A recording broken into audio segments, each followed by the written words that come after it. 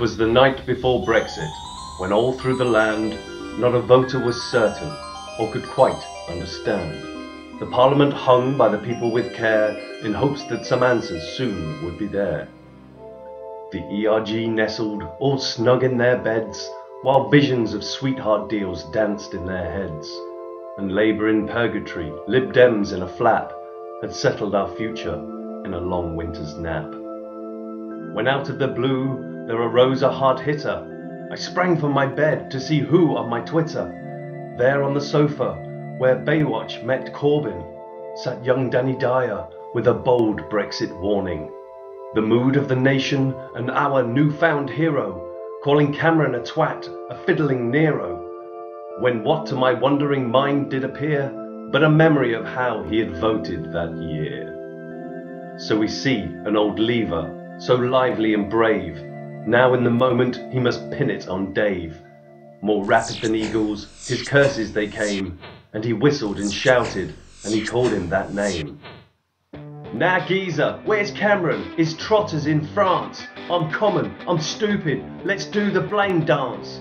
Back to the moment, our backs to the wall. Now stash away, stash away, stash away all. When leavers before said we'd reach for the sky, when they met with an obstacle, they'd say we could fly. So up to the cliff edge, the course they held true, with the bus full of promise and no clue what to do. And then, in a twinkling, I heard on Facebook the FBI's Mueller was taking a look as he drew in on Nigel and how he was pushing for Brexit and Trump and how he'd meet with the Russian. He was mixed up in lies from his head to his foot, and his clothes were all tarnished with fag ash and soot.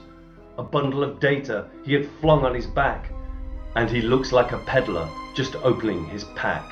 His eyes, how they twinkled, his poses, how gay, his friends making fortunes, millions in one day.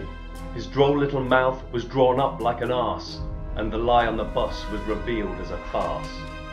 The stump of a ciggy held tight in his teeth, and the smoke it encircled his head like a wreath.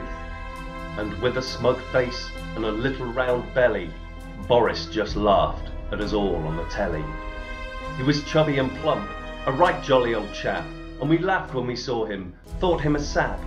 A wink of his eye and a twist of his word, soon I knew nothing of what I had heard.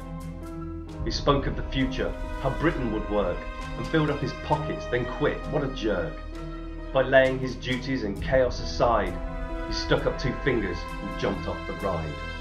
And so to Theresa, with her plan down from Chequers, away they all flew to plan new double-deckers.